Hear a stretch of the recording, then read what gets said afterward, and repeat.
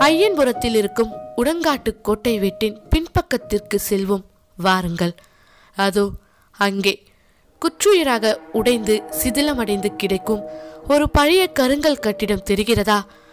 அதனுள் பாதரசம் பெயர்ந்த நிலைக்கண்ணாடி ஒன்று உங்கள் கண்களுக்கு புலப்படுகிறதா?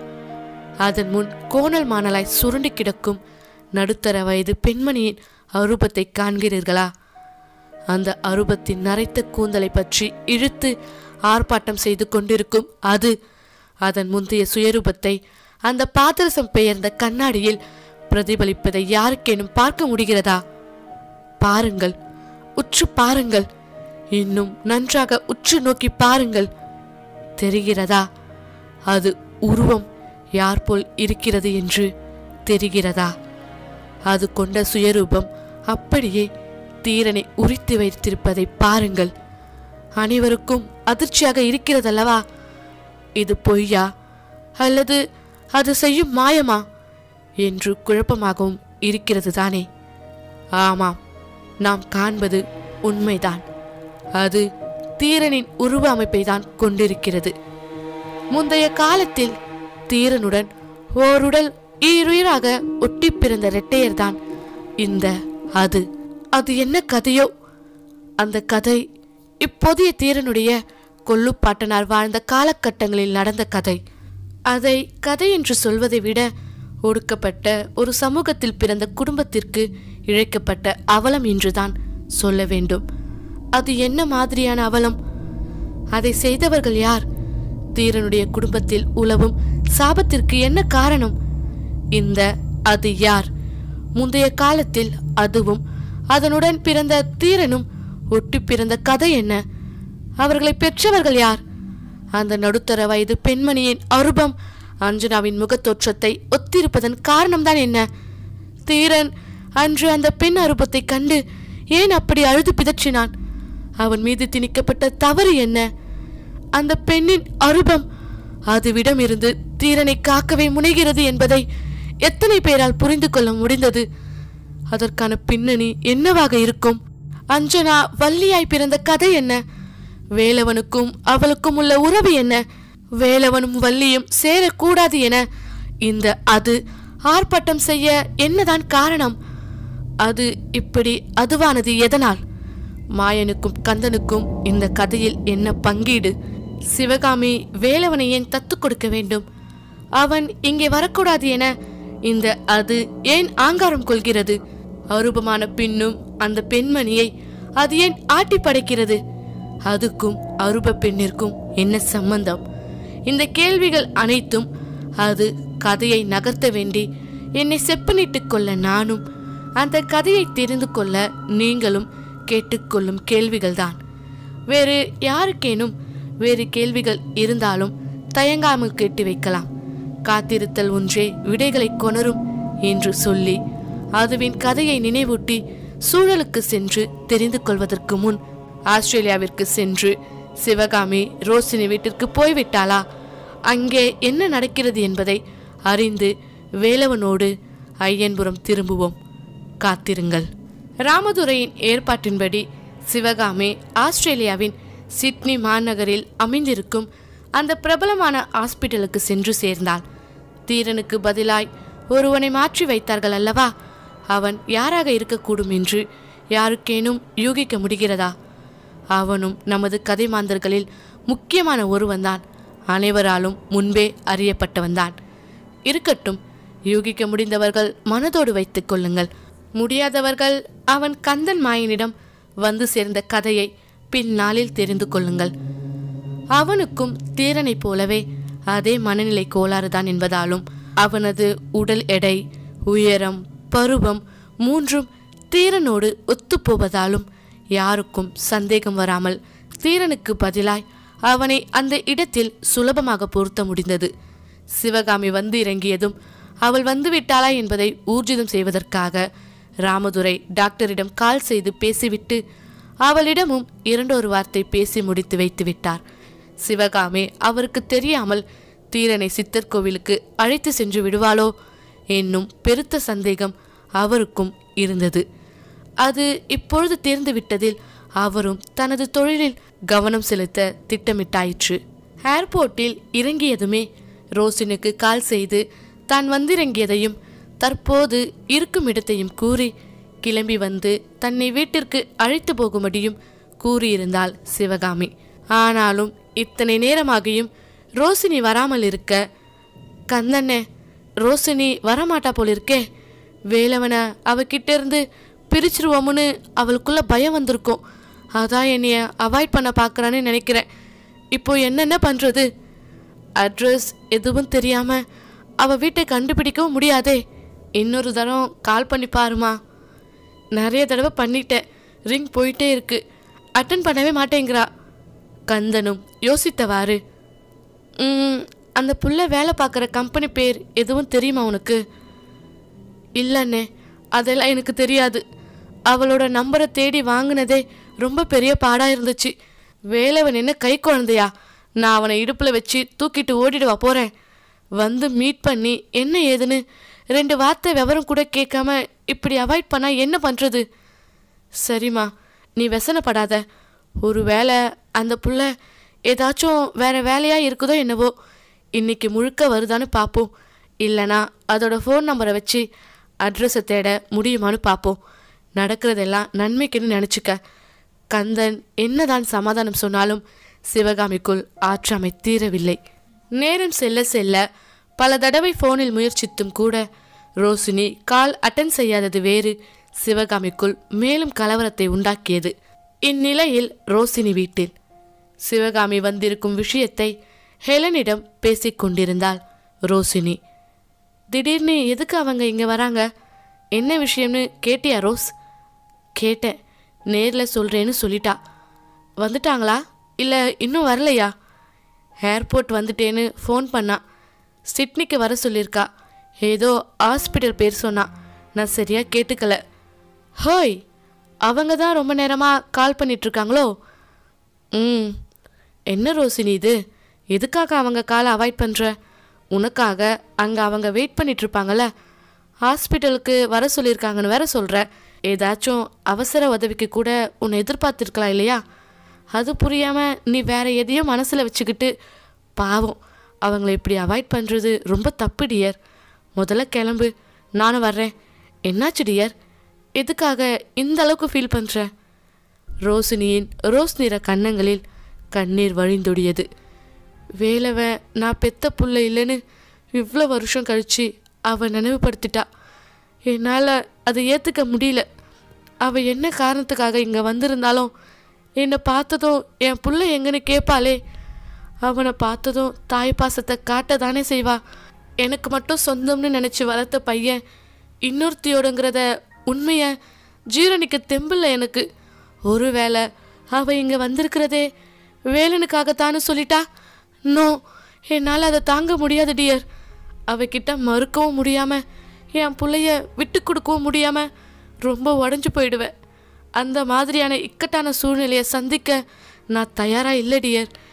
ரோசினியின் கண்ணீரும் கலக்கமும் ஹெலனையும் வாட்டியது. அவளை தோளோடு அரவணைத்து தேற்றியவர் உன்னோட ஃபீலிங்ஸ் எனக்கு புரியுது டார்லிங் பட் நீ அவங்கள வேணும்னே அவாய்ட் பண்ணுறேன்னு தெரிஞ்சா அவங்களுக்கும் மனசு கஷ்டமாக இருக்கும் இல்லையா? இப்போ அவங்க என்ன மாதிரியான சுச்சுவேஷனில் இருக்காங்கன்னு தெரியாமல் நீ ஒதுங்கி இருக்கிறது தப்பில்லையா? அட்லீஸ்ட் ஃபோன்லையாச்சும் அவங்க கிட்ட பேசி தெரிஞ்சுக்கிறத விட்டுட்டு இப்படி நடந்துக்கிட்டா எப்படிமா அவங்க நம்பரை கொடு நான் பேசுகிறேன் ஹேலன் சிவகாமிக்கு கால் செய்து அவள் ஹாஸ்பிட்டலுக்கு வந்திருக்கும் விவரம் என்ன ஏதென்று கேட்டு தெரிந்து கொண்டு தான் அங்கே உடனடியாக கிளம்பி வருவதாக சொல்லி வைத்துவிட்டு ரோசினியிடம் விவரத்தை கூறி சீக்கிரம் கிளம்பு ரோசிமா. இந்த மாதிரியான நேரத்தில் நீ அவங்களுக்கு துணையாக இருக்க வேண்டாமா? பாவம் அவங்க பையனுக்கு இப்படி ஒரு நிலமை வந்திருக்கக்கூடாது எனக்கே மனசு ரொம்ப வருத்தமாக இருக்குது. நீ அவங்க இடத்துல இருந்து யோசிச்சு பாரு.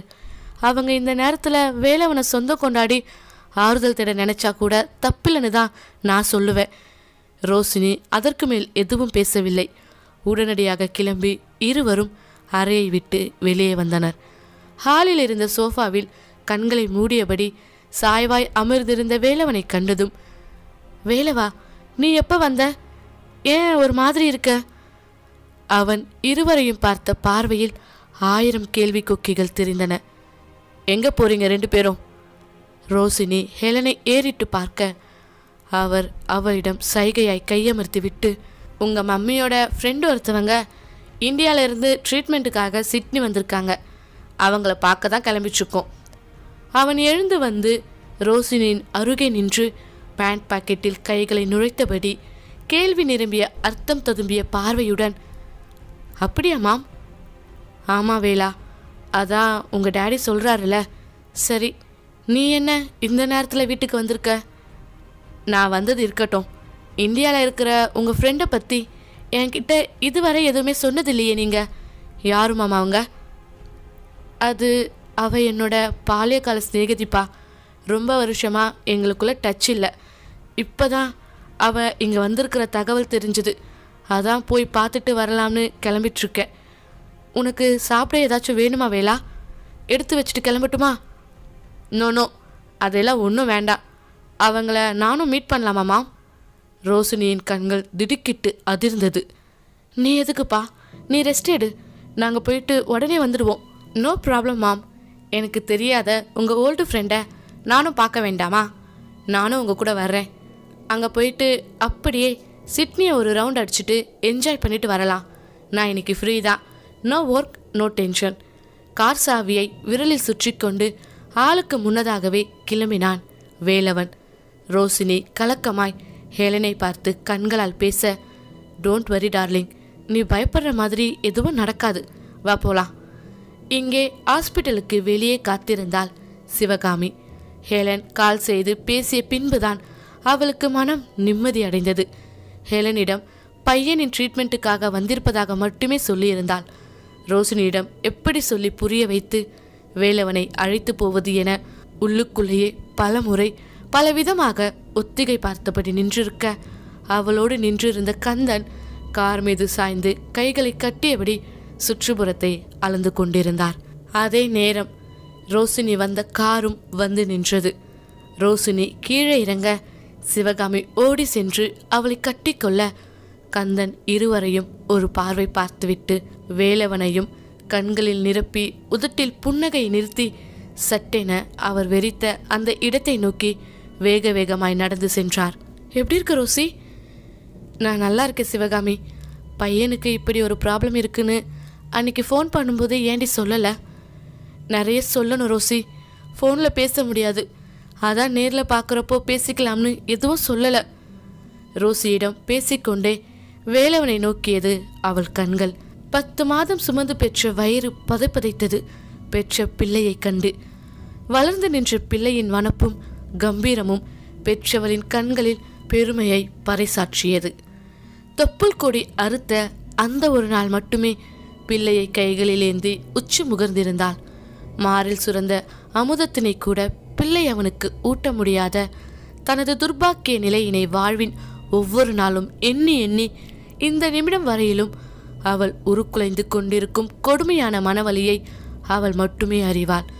பிறந்த அன்றே தூக்கி கொடுத்த பிள்ளையை இன்று கண்ணார கண்டதும் மீண்டும் மாறில் அமுதம் சுரந்து அவளை வலிக்க வலிக்க கொள்ளுவது போலத்தான் இருந்தது. அவன் மீது நிலைத்து நின்ற பரிதபமான அவளது பார்வையின் வழியை ரோசினியும் நன்றாகவே உணர்ந்தாள். அவளின் நிலை இவளுக்கும் புரியாமல் இல்லை. ஆனால் அவளுக்காக இறக்கப்பட்டு தான் மீண்டும் மலடியாகி விடுவோமோ என்னும் பயமும் அவளுள் எழாமல் இல்லை. அந்த இறுக்கமான சூழ்நிலையை ஹேலன் உடைத்தார். வேலவா இவங்க தான் உங்கள் மம்மியோட ஃப்ரெண்ட் பேர் சிவகாமி. ஓ வெல்கம் ஆண்டி முகம் மலர கை கொடுத்து வரவேற்பாய். அவன் வாய்மொழிந்த வார்த்தை அவனை பெற்றவளுக்கு நெஞ்சில் ஊசியை சொருகுவது போல் இருந்தது உள்ளத்தில் வலியை மறைத்து உதட்டில் புன்சிரிப்பை வழிய விட்டு ஆன்ட்டி இல்லப்பா நானும் உனக்கு அம்மா மாதிரி தான் ரோசினியை எப்படி கூப்பிடுவியோ அப்படியே கூப்பிடு. நோ ஆண்டி நான் எங்கள் மம்மியை தவிர வேற யாரையும் அப்படி கூப்பிட்டு பழக்கம் இல்லை. சாரி தப்பாக எடுத்துக்காதீங்க. பைதவே இப்போ உங்கள் பையனுக்கு எப்படி இருக்கு? டாக்டர் என்ன சொல்கிறாங்க மாம் நாம் அவங்கள பார்த்துட்டு உடனே கிளம்பிடலாம் தானே? டைம் இல்லை எனக்கு. அர்ஜென்ட் ஒர்க் இருக்கு. வேலவனின் அந்த படபட பேச்சும் சிவகாமியை அவன் பார்க்கையில் புன்னகையோடு கலந்து மெலிதாய் வழியும் வெறுப்பையும் ஹேலன் கவனித்தது போலவே ரோசினியும் கவனித்தாள். சிவகாமியோ பிள்ளையின் மேனரிசத்தை பார்த்து சிலிர்த்து கொண்டிருந்தாள் உள்ளுக்குள். அவரை போலவே அலட்டிக்காம பேசுறான். யார் அந்த அவர்? அவளுடைய கணவன் ராமதுரையோ? இல்லை அவள் தன் மகனை ஒப்பிட்டு உள்ளம் பூரிக்கும் அந்த அவர். தீரனின் அப்பா ராமதுரை அல்லவே அல்ல. அந்த அவர் வேறு ஒருவர். உலகம் வெறுத்து உடலும் சுமையென கருதி உயிரை காற்றோடு காற்றாக சுருக்கி கொண்டவர். இந்த செய்தி நிச்சயம் அனைவருக்கும் அதிர்ச்சியையும் சிவகாமி மீதான நன்மதிப்பை தவறான கண்ணோட்டமாக உருவாக்கவும் கூடலாம் தான் உண்மை அறியும் வரை இந்த செய்தி கொஞ்சம் கசப்பை தான் கொடுக்கும். சிவகாமி பையனை எந்த ரூமில் அட்மிட் பண்ணியிருக்காங்க நான் அவனை பார்க்கணும். வா போலாம். ரோசினியின் கையை பிடித்து நிறுத்திய சிவகாமி மெல்லிய குரலில் ரோசி அங்கே இருக்கிறது என்னோட பையனே இல்லை. என்னடி சொல்ற? அது ஒரு பெரிய கதை. இங்க நின்று பேச முடியாது. நாம உடனே உங்க வீட்டுக்கு போகலாம் அங்க போய் எல்லாத்தையும் விளக்கமா சொல்றேன். உன்கிட்ட மடி பிச்சை வாங்கிட்டு போலான்னு தான் இவ்வளோ தூரம் பயணம் பண்ணி வந்திருக்கேன் பிச்சை போட மாட்டேன்னு மட்டும் சொல்லிடாத. நீ மனசு வச்சாதான் நிறைய பேரோட வாழ்க்கைய சரி பண்ண முடியும். என்னடி புதிர் போடுற? சத்தியமா எனக்கு எதுவுமே புரியல. ஹெலன் இவ என்ன சொல்றா? உங்களுக்கு ஏதாச்சும் புரியுதா? அவங்க தான் இங்கே நின்று எதுவும் பேச முடியாதுன்னு சொல்கிறாங்கல்ல வீட்டில் போய் கேட்கலாம் நீங்கள் வாங்க சிஸ்டர். ஒரு நிமிஷம். கந்தனை எங்கே போனாரு? திடீர்னு ஆளை காணோம். கந்தனா? யார் அவர்? என் கூட துணைக்கு வந்தவர். என்னோட அம்மா வழி வரவுல வந்த அண்ணன். ரோசி உனக்கு தான் தெரியுமே. கந்தன் மாயன்னு ரெண்டு பேர். ஆ அந்த ட்வின் பிரதர்ஸ் தானே. நல்லாவே நினைவிருக்கு. அவங்கள மறக்க முடியுமா? இங்கே வந்திருக்காங்களா? நான் கவனிக்கலையே. ஆமாம் கந்தனை மட்டும் என் கூட வந்தார். நீங்கள் வர்றதுக்கு முன்னாடி கூட இங்கே என் பக்கத்தில் தான் நின்றுட்டு இருந்தார் ஒருவேளை ஹாஸ்பிட்டலுக்குள்ளே போயிட்டாரோ? அவர்கிட்ட சொல்லாமல் நான் உங்கள் கூட வர முடியாதே. இருங்க அவர் எங்கே இருக்காருன்னு ஃபோன் பண்ணி பார்க்குறேன் சிவகாமி கந்தனுக்கு கால் செய்ய அது அவர்கள் நின்றிருந்த இடத்திற்கு பக்கத்திலேயே தரையில் கிடந்து அலறியது. கந்தனை தேடி சிவகாமி ஹாஸ்பிட்டலுக்குள் போக ஹேலனும் ரோசியும் அவர்களது காரின் அருகிலேயே நிற்க அவர்களுக்கு தெரியாமல் உள்ளே போன சிவகாமியை பின்தொடர்ந்து போன வேலவன் ஹலோ மிஸ் சிவகாமி அம்மையாரே ஒரு நிமிஷம் நில்லுங்க. சிவகாமி நின்று ஆச்சரியமாய் அவனை திரும்பி பார்க்க அலட்சிய மிதப்புடன் வேகமாய் நடந்து வந்து அவள் முன்பு நின்று வெறுப்பு நிறைந்த முகத்துடன் நெருப்பாய் கூட்டினான் வார்த்தைகளை. நீங்க என்ன நோக்கத்துக்காக இங்க வந்திருக்கீங்களோ அது சத்தியமா நடக்காது. வேண்டான்னு தூக்கி எறிஞ்ச பொருளை திரும்ப பிச்சை போடுன்னு கேட்கறது உங்களுக்கே கேவலமா இல்லையா? வித்த நெல் விதைச்சவங்களுக்கு என்றைக்குமே திரும்ப சொந்தமாகாது. அது உங்களுக்கு புரியுதா இல்லையா? நீங்கள் இங்கே வந்ததால் எங்கள் மம்மி ரொம்ப நிம்மதி இல்லாமல் ஆகிட்டாங்க. அவங்க இப்படி இருந்து ஒரு நாளும் நான் பார்த்ததே இல்லை. நீங்கள் எதுக்காக என்னை தூக்கி எரிஞ்சுங்கன்னு தெரிஞ்சுக்கவும் நான் விரும்பலை. நீங்கள் எங்கள் வீட்டுக்கு வந்து எங்கள் மம்மியை கஷ்டப்படுத்துறதையும் நான் விரும்பலை. எனக்கு இந்த உண்மை தெரிய வந்த விஷயம் மம்மிக்கு தெரிஞ்சாலே நொறுங்கி போயிடுவாங்க. உங்ககிட்ட நான் எச்சரிக்கையாக சொல்கிறேன் இவ்வளோ வருஷமா எங்கே இருந்தீங்களோ அங்கேயே இருங்க. என்னை நெருங்கி வர முயற்சி பண்ணாதீங்க. எனக்கு உங்களை பார்த்தா எரிச்சலாக தான் வருது. கடுகடுக்கும் முகத்துடன் விரலாட்டி கொதிக்கும் மூச்சின் வெப்பம் தெறிக்க அவன் பேசிய வார்த்தைகள் ஒவ்வொன்றும் சிவகாமியை சுட்டெரித்தது. கடைசியாக முறைப்பான நெருப்பு பார்வை ஒன்றை அவள் மீது வீசி எறிந்துவிட்டு நடக்க ஆரம்பித்து விட்டான். பிள்ளை அவன். பெற்றவள் உயிரை வெறுத்து பூமிக்கு பாரமாக உடலை மட்டும் வைத்து கொண்டு நிற்கிறாள். நிலையாக எங்கிருந்தோ அவசரமாய் ஓடி வந்தார் கந்தன். அவரின் பதற்றம் பார்த்து சிவகாமி தன்னிலை திரும்பி அண்ணே என்னாச்சுன்னு? எங்க போனீங்க? நம்ம கூட்டிட்டு வந்த பையனை அது கூட்டிட்டு போகுதுமா. இனிமே இங்க இருக்கிறது ஆபத்து. வேலவன் எங்க? சீக்கிரம் வா சிவகாமி. நீயும் வேலவனும் உடனே இங்கிருந்து கிளம்பி ஆகணும் பேசிட்டு இருக்க நேரம் இல்ல கந்தன் சிவகாமியின் கைப்பிடித்து இழுத்து கொண்டு போனார். அவசரமாய். சிவகாமியின் முகம் பயத்தில் வியர்த்து வழிந்து கொண்டிருந்தது. தன் காரை நோக்கி நடந்து கொண்டிருந்த வேலவனை கை நீட்டி தடுத்து நிறுத்தினாள் ஒருத்தி. அவள் லீசா. அந்த இடத்திற்கு பொருந்தாத பாவாடை தாவணி உடையில் மஞ்சள் முகத்தில் சிரிப்பு மின்ன நின்றிருந்தாள் அவள். வேலவனின் முகம் சுருங்கியது. அவளைக் கண்டு